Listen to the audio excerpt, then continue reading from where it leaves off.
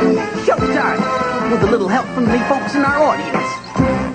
Ah, okay, right, okay. Now, this part will be have some people come up out of the audience, help us out with a little sketch. Uh, great one tonight, no kidding, really. Uh, gentleman down here with the uh, turtle around your neck. yeah. Oh, I'm sorry, it's turtleneck. Okay, all right, okay. Uh, would you? We hate to wake you up. You want to come up, sir? With your finger in your mouth? What are you doing there? Huh? Come on up. Okay, huh? Boy, this is going to be good. So we need a guy who looks like a father. You know, religious type father. Okay, now you're going to be over here. Now we need a lady. Anybody, uh, lady, uh, the lady in the print dress back there. You want to? Yeah.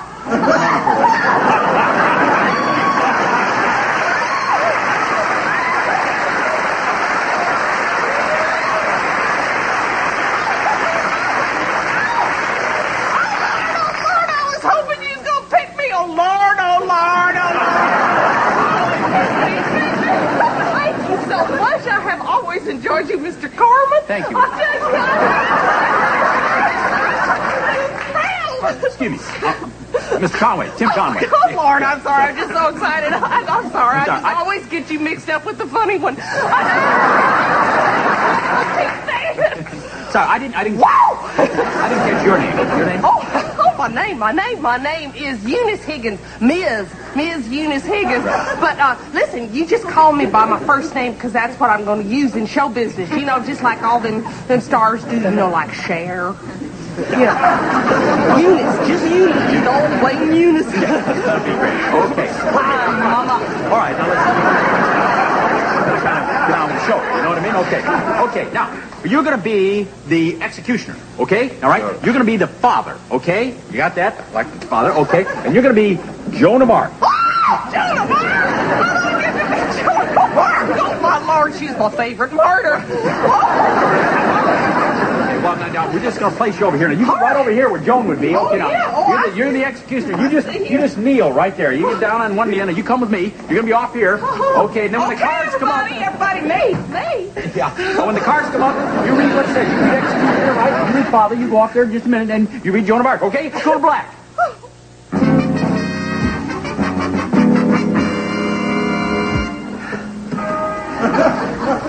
The kingling is ready, my lord. At your command, this heretic will be set ablaze.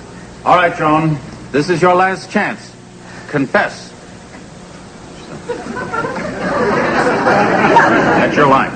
Well, I know that. Oh. I know that. I can see it on the cards there. It's just that I was pausing here for dramatic effect. You understand that? Have you ever worked with a method actor before? Fun thing. All right, that's fine. That's fine. Just Get in let me do my thing. All right?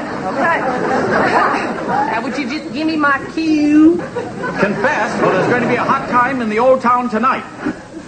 Set your fires. I fear them not. The very flames of hell could not singe my spirit, char my hope, nor fry my fortitude. Eat them words, Ingrid Bergman. Yonder comes your father to plead for her life. Come forth, father. What shall we do with your daughter? Oh, please, Friar. Please, Friar. Please.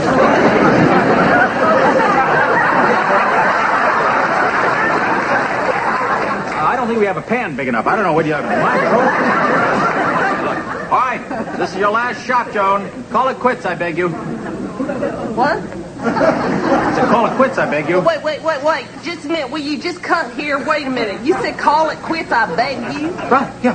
Well, that wasn't really begging. I mean, you know what I'm saying? We are up here, the three of us, acting our hearts out, and you're just standing there dragging your butt.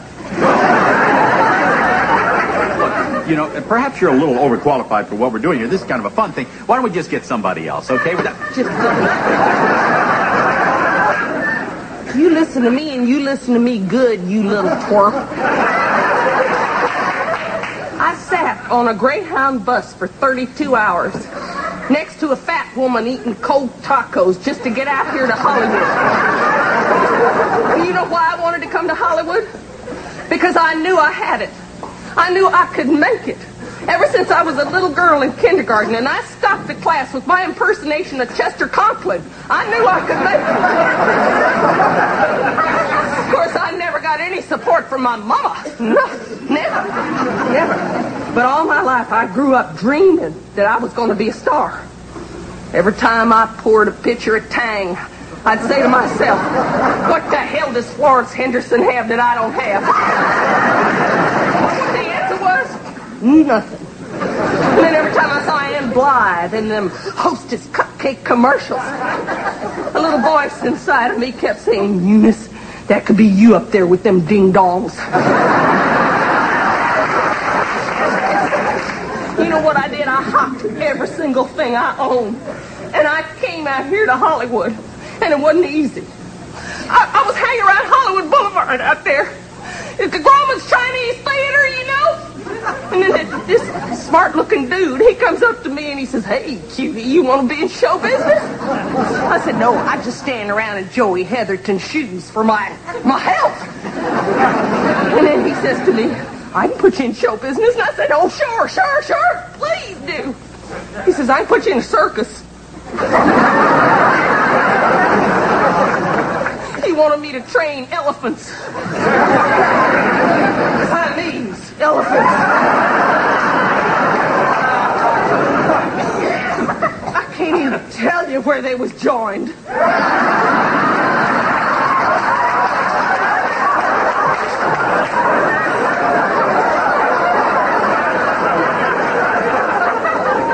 that's another tale.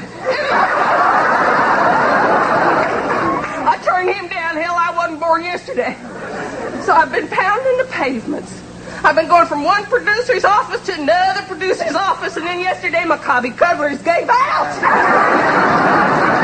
Do you know how embarrassing it is to walk up to somebody in show business and every step you take your shoes and giving them the raspberry? The only bright light in this whole fiasco is me being picked to be here on this show and to do Joan of Arc. And if you think you're gonna blow that for me, you're one brick short of a full load. You got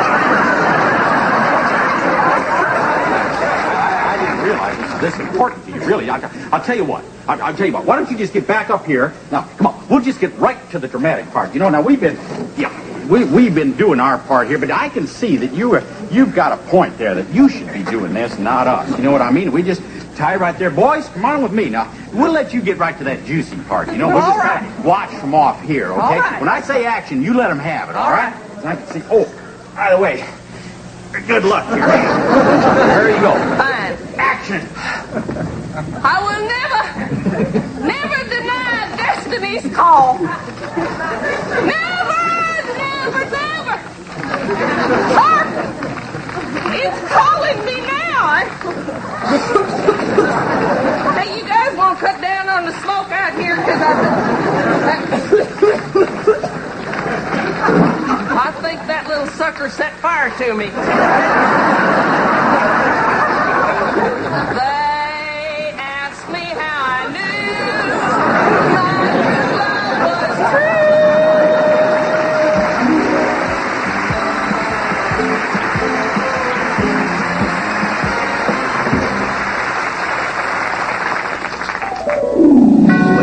Gentlemen, the Don Crichton Dancers, featuring Ricky Siegel. Brothers, do you know what shine it on means? Well, you should. Sisters, you gotta make that phrase more your own for your own good. When depression comes upon you, does a downer number on you, take no notice, shine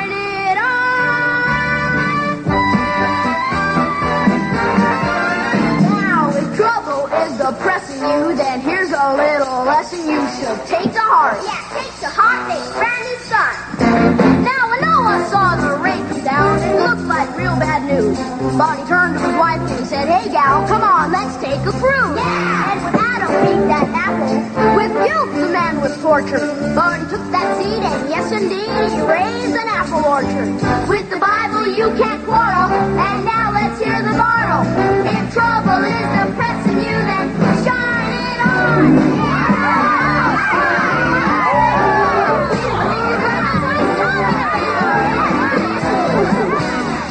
Grizzly days comes your way, shine it on, shine it on. Morning news brings the blues, shine it on, shine it on. Just dismiss it, do and hiss it, bracket and parenthesis it. That's the way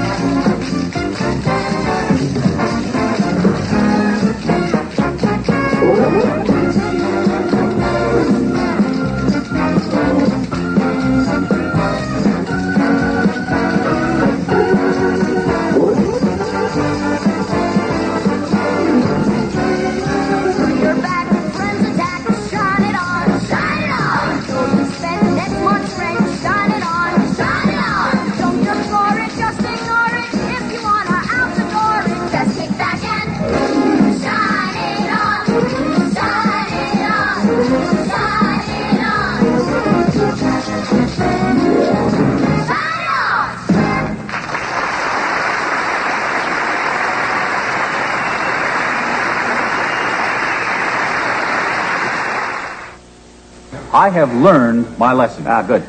You can bring out Carol and thank her. Now you're talking showbiz. Okay. Ladies and gentlemen, we'd like to thank our special guest star, Carol Burnett.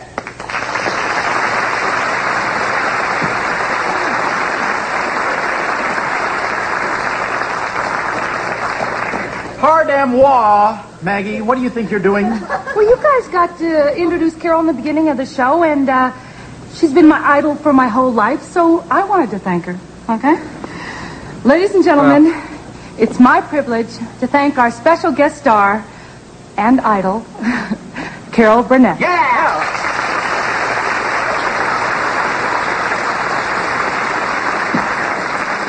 Miriam! Don't tell me you want to thank Carol. Uh, yes, I would like to. It would be an honor.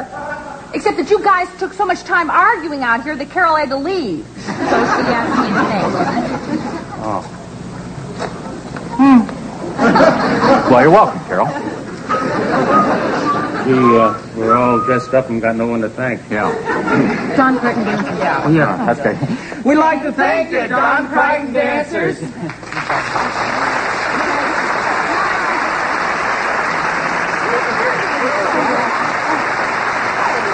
Tonight